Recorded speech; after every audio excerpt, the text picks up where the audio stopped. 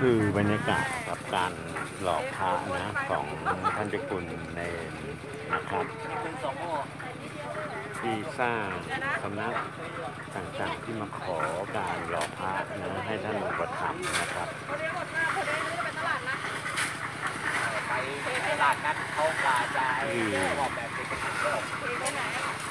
ก็ชาวบ้านเขามาร่วม นะครับร่วมจิตร่วมใจนะร่วมความศรัทธานะครับทำนี้ก็เป็นกระถางไม่รู้ปีจนแบบเวลา